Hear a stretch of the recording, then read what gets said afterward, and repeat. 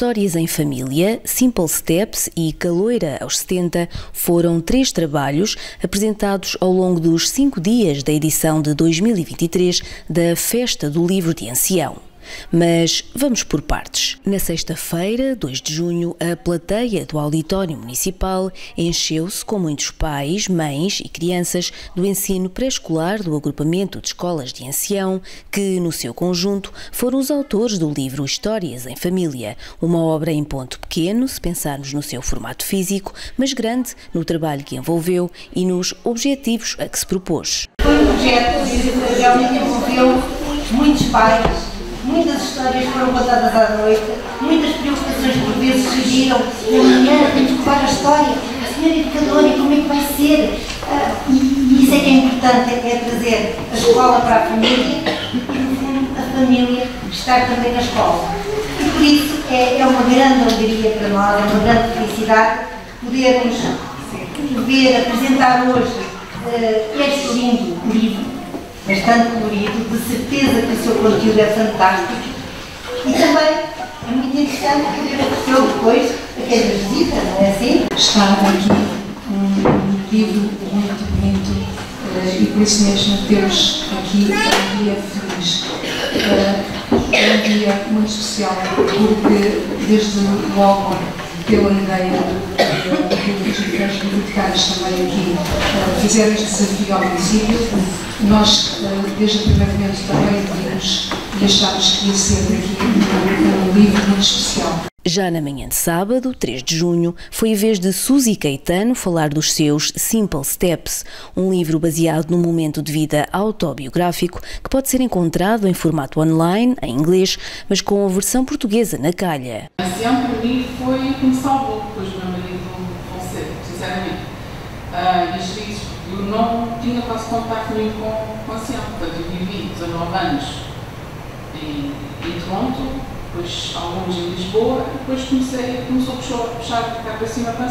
Satisfazemos, enquanto município, por estarmos aqui também neste momento desta, eh, desta festa do livro, a apresentarmos um livro uh, de Suzy Caetano, uh, que uh, ousou, ousou ter coragem e é importante também na nossa vida nós ousarmos, uh, sermos capazes de sermos audazes e sonhadores. A potencialidade de inspirar outras pessoas é um objetivo comum a este livro e também ao que foi apresentado no mesmo quarto dia da Festa do Livro de Ancião, Caloira, aos 70, da autoria de Fernanda Teixeira. Nascida em Valgalego, na freguesia de Alvores, onde viveu até aos 9 anos, aborda a questão do envelhecimento ativo, tema bem atual neste século XXI. Nós não nos podemos esquecer que nós somos, e eu gosto muito desta palavra, nós somos uns construtos sociais a sociedade modela-nos, constrói-nos, faz-nos. A sociedade até nos diz como é que nós devemos sofrer, diz-nos como é que nós devemos amar, diz-nos como é que nós devemos morrer, diz-nos tudo. E nós, chegamos ao fim da vida, nós somos uma construção. Passamos a vida a ser construídos, a ser construídos para pensar, para, para tudo.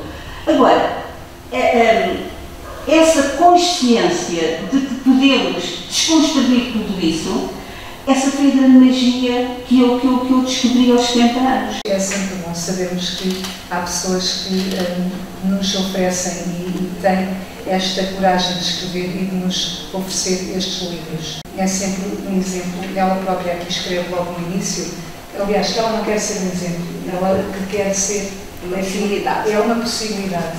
Uh, acho que esta despretensão é muito importante porque aquilo que cada um pode dar depende sempre da, da, uh, da personalidade de cada um.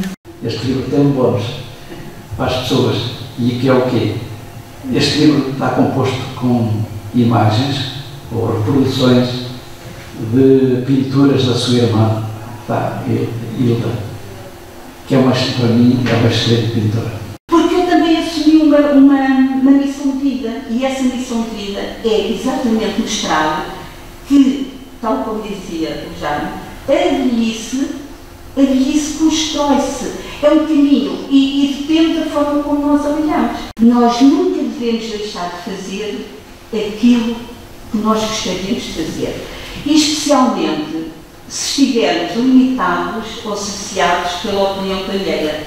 Dizendo assim, eu gostava de fazer aquilo, mas não faço porque se calhar vão me criticar, porque se calhar vão me dizer isto. Pronto, isso é a última coisa que nós devemos, não devemos fazer. Queríamos deixar esta grande mensagem. Os velhos atrevam-se a ser atrevidos. os novos, os mais novos, atrevam-se a envelhecer. Mas não tenham medo do, do envelhecimento, porque o envelhecimento, se for bem encarado e bem assumido, ele pode ser uma ótima fase das nossas vidas.